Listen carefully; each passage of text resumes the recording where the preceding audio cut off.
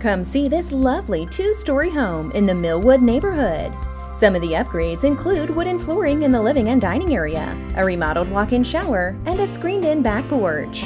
The master bedroom is downstairs, and two bedrooms with a hallway bath are upstairs. It's close to Apple Campus, Rattan Creek Park, major highways, shopping, and dining. Find out how you can get the keys to your new home by calling Karin Reinhardt